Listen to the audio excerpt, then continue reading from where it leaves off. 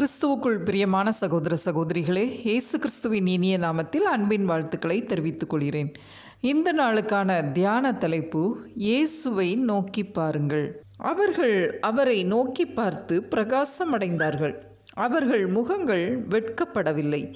சங்கீதம் முப்பத்தி நான்கு ஐந்து. ஆயிரத்தி எண்ணூற்றி ஐம்பதாம் ஆண்டு ஜனவரி மாதம் இங்கிலாந்தில் உள்ள கோல்செஸ்டர் என்ற நகரத்தில் கொடிய பனி புயல் வீசிக்கொண்டிருந்தது. பதினாறு வயதான ஒரு வாலிபன் வழக்கமாக ஆலயத்திற்கு செல்லும் பாதையில் செல்ல முடியாததால் அருகில் உள்ள ஒரு மெதடிஸ்ட் சர்ச்சுக்கு சென்றார். அந்த சபையை நடத்துகிற போதகர் வராததினால் ஒரு சாதாரண மனிதர் அந்த ஆராதனையை நடத்த ஆரம்பித்தார். ஏசாயா நாற்பத்தி ஐந்து இருபத்தி ரெண்டாம் வசனத்தில் பூமியின் எல்லை எங்கும் உள்ளவர்களே என்னை நோக்கி பாருங்கள் அப்பொழுது ரட்சிக்கப்படுவீர்கள் என்ற வசனம்தான் அவர் தெரிந்து கொண்ட வசனம்.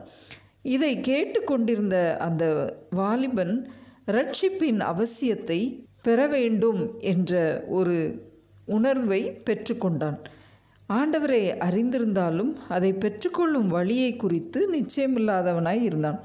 அவன் ஆலயத்திற்கு ஒழுங்காக செல்கிறவன்தான் ஆனாலும் அவன் அந்த மனிதர் கூறிய பிரசங்கத்தை உன்னிப்பாக கவனிக்க ஆரம்பித்தார்.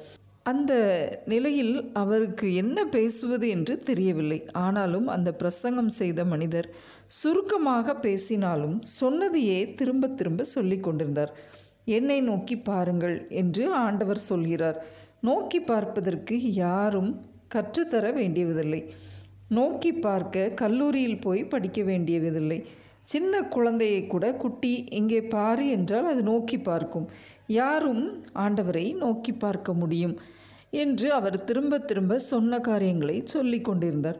அதை கேட்டுக்கொண்டிருந்த அந்த வாலிபன் அந்த பிரசங்கியாரை நோக்கி கொண்டிருந்தான்.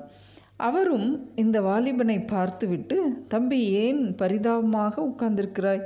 இயேசுவை நோக்கிப்பார் நீ இப்பொழுதே ரட்சிக்கப்படுவாய். என்று அந்த வாலிபனிடம் குறிப்பாக கூறினாராம் அந்த பிரசங்கம் செய்த மனிதர். அந்த வாலிபன் விசுவாசத்தோடு நோக்கி பார்த்தான். ஆண்டவரை இரட்சகராக ஏற்றுக்கொண்டான். யார் அந்த வாலிபன்? அவன்தான் பின்னாளில் உலக பிரசித்தி பெற்ற பிரசங்கியாகிய சிஹெச் ஸ்பர்ஜன் என்பவர். அந்த நாள்தான் அவர் ஆண்டவரிடம் மனம் திரும்பிய நாள். ஆம் அவரை நோக்கி பார்த்தபோது அவர் ரட்சிக்கப்பட்டார் என்று நாம் பார்க்கிறோம். ஆம் நாமும் ஆண்டவரை நோக்கி பார்க்கும்போது நாம் பிரகாசமடைந்து பிரகாசம் அடைகிறவர்களாக நாம் மாறுவோம் என்பது நிச்சயம்.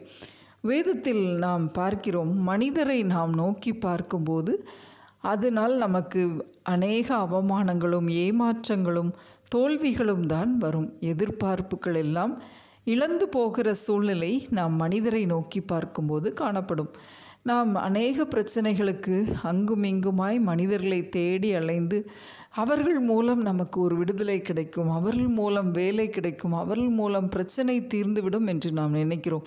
ஆனால் ஏமாற்றம் அடைவதுதான் நிச்சயம். ஆனால் ஆண்டவரை நாம் நோக்கி பார்க்கும்போது நமது முகங்கள் பிரகாசம் அடைகிறது நாம் வெட்கப்பட்டு போவதில்லை என்று வசனம் கூறுகிறது. நாம் கத்தரையே நோக்கி பார்க்கும்போது ஆண்டவரிடத்திலிருந்து நமக்கு ஒரு பிரசன்னம் நமது நம்மை பிரகாசிக்க பண்ணுகிற ஒரு கிருபை கிடைக்கிறது. அவரோடு நாம் ஜெபித்து ஆண்டவரோடு நாம் பேசும்போது நமது முகங்களை பிரகாசிக்க பண்ணுகிற தேவனாய் இருக்கிறார். அது மாத்திரம் இல்லாமல் அவரை நோக்கி பார்க்கிற ஒருவரும் வெட்கப்பட்டு போவதில்லை என்று வசனம் கூறுகிறது. தாவீது ராஜா கோலியாத்தை எதிர்கொள்ளும்போது மற்ற மனிதர்கள் எல்லாரும் கோலியாத் என்ற ஒரு மனிதனை நோக்கி பார்த்தார்கள். ஆனால் தாவிதோ ஆண்டவரை சேனைகளின் கத்தருடைய நாமத்தில் வருகிறேன் என்று ஆண்டவரை நோக்கி பார்த்து செல்லும்போது அந்த மனிதனை மேற்கொண்டு வெற்றி பெற்றதை நாம் பார்க்கிறோம். அவன் அவமானப்பட்டு போகாமல் பிரகாசம் அடைந்து தைரியமாய் போரில் வெற்றி பெற்றதை நாம் பார்க்கிறோம். ஆம் எனக்கு அன்பான சகோதர சகோதரிகளே நாமும் ஆண்டவரை நோக்கி பார்க்கும்போது நமது முகங்களை பிரகாசிப்பிக்கிற தேவனாய் இருக்கிறார். நாம் ஒருபோதும் வெட்கப்பட்டு போவதில்லை. மோசே ஆண்டவரோடு முகமுகமாய் மலையில் ஏறி பெ- ஜெபித்த போது அவனது முகம் பிரகாசம் அடைந்தது அவனை பார்ப்பதற்கு கூட முடியாத அளவிற்கு அவனது முகம் பிரகாசம் அடைந்தது என்று நாம் பார்க்கிறோம். ஆம் நாமும் நமது பிரச்சனை சமயங்களில் மனிதர்களை நோக்கி பார்க்காமல் ஆண்டவரை நோக்கி பார்ப்போம். ஆண்டவர் நம்மை பிரகாசிப்பிக்கிற தேவனாயிருக்கிறார். நாம் ஒருபோதும் வெட்கப்பட்டு போவதில்லை. ஜெபம். அன்பின் பிதாவே இந்த அருமையான வேலைக்காக உமக்கு நன்றி செலுத்துகிறோம் அப்பா. ஆண்டவரே நான் அவர்கள் அவரை நோக்கி பார்த்து பிரகாசம் அடைந்தார்கள். அவர்கள் முகங்கள் வெட்கப்படுவல் படவில்லை என்று வேதவசனம் கூறுகிறது கர்த்தாவே. அதே போல் இன்றும் ஆண்டவரே உம்மை நோக்கி பார்க்கிற ஒவ்வொருவரையும் பிரகாசிப்பிக்கிற தேவனாய் இருக்கிறீர். ஒருபோதும் வெட்கப்பட்டு போவதில்லை என்று சொன்ன வசனத்தின்படி ஆண்டவரே நீர் ஒவ்வொருவரையும் பிரகாசிக்க பண்ணி ஆண்டவரே அவர்களுடைய காரியங்கள் எல்லாவற்றிலும் ஜெயத்தை கட்டளிடும் மனிதர்களை பார்க்காதபடி உம்மை நோக்கி பார்க்கும் கிருபையை எங்களுக்கு இந்த நாளில் கொடுத்துடலும் மீட்பரேசு இயேசு கிறிஸ்துவின் மூலமாய் வேண்டிக் கொள்கிறோம். பரமபிதாவே ஆமேன்.